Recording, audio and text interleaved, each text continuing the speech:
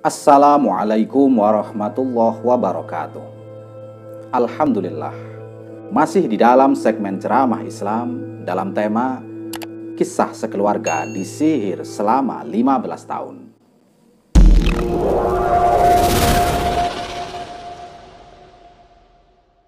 Para sahabatku sekalian, sihir adalah praktek pengendalian spiritual antara pelaku dengan makhluk halus, semisal jin atau setan yang digunakan untuk mencelakai orang lain. Di dalam beberapa negara, praktek sihir dilakukan dengan berbagai macam cara yang beraneka ragam. Rasulullah Shallallahu Alaihi Wasallam bersabda, "Tinggalkanlah tujuh dosa yang akan membinasakan." Sahabat bertanya, "Ya Rasulullah, apakah dosa-dosa itu?" Nabi menjawab, "Ialah yang pertama syirik mempersekutukan Allah Subhanahu wa taala.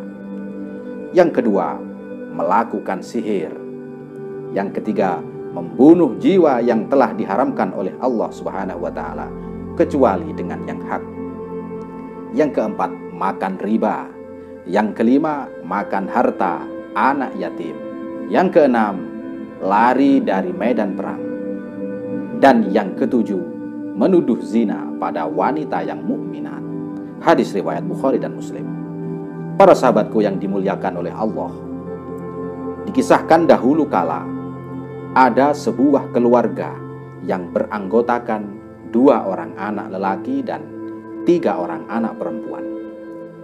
Salah seorang dari ketiga anak perempuan itu terkena sihir. Keluarganya meyakini bahwa penyakit itu hanya bersifat fisik belaka, bukan penyakit gaib, bukan karena gangguan setan. Karena mereka tidak percaya hal-hal yang berbau gaib. Mereka baru merasa yakin bahwa anak perempuan itu terkena sihir ketika dibawa ke dukun. Dukun itu mengatakan bahwa anak gadisnya telah dirasuki oleh jin dan dia akan membantu untuk mengeluarkan jin yang merasuki di tubuhnya itu. Namun, ternyata usaha dukun itu gagal para sahabatku. Demikian juga beberapa paranormal yang didatangkan keluarganya. Semua usahanya sia-sia. Dan mengapa hal itu terjadi demikian? Hal itu disebabkan kuatnya jin yang merasuk di dalam diri gadis itu dan kekuatan paranormal tidak mampu menandinginya. Apalagi iman mereka juga sangat tipis. Setelah kegagalan itu, keluarganya membawanya kepada seorang kiai atau ustadz yang khos pilih tanding yang sangat ahli dalam mengobati penyakit seperti itu. Dalam proses pengobatan, jin yang merasuki itu mengaku bahwa dia merasuki si gadis ini karena dia mencintainya dan ingin bersatu dengannya. Dia, jin ini merasuk lewat cara sihir Sang kiai terus-menerus membaca ayat suci Al-Quran dan doa-doa syar'i lainnya. Pengobatan penyakit sihir jenis ini memerlukan waktu yang relatif lama, sehingga proses penyembuhannya berlangsung sampai empat bulan lamanya. Cukup lama para sahabatku. Tapi berkat karunia Allah Subhanahu wa taala, jin yang merasukinya berhasil diusir dan dikeluarkan. Dia mengaku bahwa gadis itu bukan satu-satunya yang dirasukinya. Seluruh anggota keluarganya juga menderita penyakit sihir yang sama. Kemudian juga diketahui bahwa jin itu bisa membuat ayah ibunya tidak mampu melaksanakan tugas hubungan suami istri. Hanya mereka berdua dihayalkan dilamunkan oleh jin seakan-akan keduanya melakukan hubungan badan. Begitu seterusnya selama bertahun-tahun. Tapi selama itu juga mereka menganggap hal itu hanya penyakit yang bersifat fisik belaka, penyakit lohir.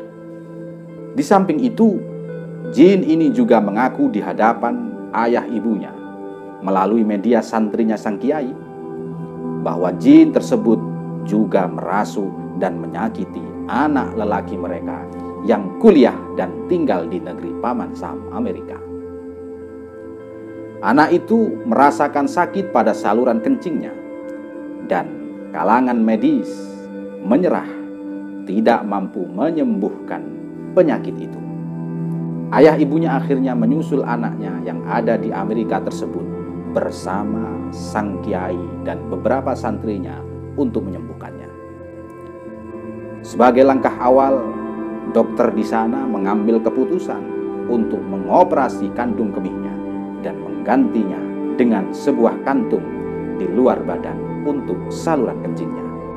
Akan tetapi, Allah berkehendak untuk menghilangkan kegundahan hati hambanya dan menampakkan kesalahan atau kebodohan para pakar-pakar medis. Setelah beberapa upaya mereka lakukan, mereka memutuskan bahwa permasalahannya mirip dengan jalan keluarnya. Mereka tahu bahwa penyebab sering kencingnya itu adalah karena ternyata ada dua kandung kemih yang ada pada diri pemuda itu, yaitu kandung kemih besar dan kandung kemih kecil. Tapi yang berfungsi hanyalah kandung kemih yang kecil. Dan begitu operasi selesai, ternyata mereka, para dokter itu hanya menemukan satu kandung kemih saja. Padahal sebelumnya mereka berasumsi bahwa ada dua kandung kemih. Saat itulah mereka membiarkan anak muda itu dan mengatakan bahwa dia tidak mungkin disembuhkan. Para sahabatku yang menyaksikan kajian ini, subrek kalau belum. Kemudian anak itu disembuhkan dengan jalan non-medis. Dan sesudah berbagai usaha dilakukan untuk mengusir jin yang merasuki pemuda itu, yaitu dengan doa-doa rukyah yang ampuh dan juga memandikannya dengan air yang dicampur dengan daun bidara. Kondisinya berangsur-angsur mulai membaik melalui media santri dari sang kiai. Jin yang merasukinya mengaku bahwa sihir itu adalah ulah istri paman dari pemuda itu. Supaya hal itu bisa dibuktikan, si pemuda meminta Jin berbicara dengan istri pamannya lewat pesawat telepon. Sebab sudah 15 tahun Jin itu tidak keluar.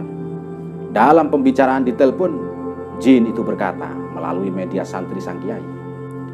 Aku adalah jinnya dukun Fulan bin Fulan dengan perantara seorang wanita bernama Fulan di daerah Fulan. Aku ingin keluar karena mereka menyiksaku tanpa henti. Saat itulah istri paman pemuda itu mengakui semua perbuatannya. Dia melakukan perbuatan jahat tersebut karena unsur balas dendam dan dengki. Istrinya paman itu meminta tebusan agar bisa menghentikan sihir yang dia tebarkan. Dan pemuda yang kandung kemihnya terkena sihir diharuskan datang ke Riyadh, Arab Saudi sana. Dalam waktu secepatnya sebab proses penyembuhan dilakukan di ibu kota negeri itu. Setelah si pemuda itu tiba dan dibacakan mantra kepadanya, berangsur-angsur keadaannya mulai membaik. Tapi upaya penyembuhan masih terus-menerus dilakukan. Sampai jin itu mengakui di mana tempat sihir tersebut. Setelah proses itu selesai total, seluruh keluarga sembuh dan normal. Sebab sihir mengganggu mereka telah sirna.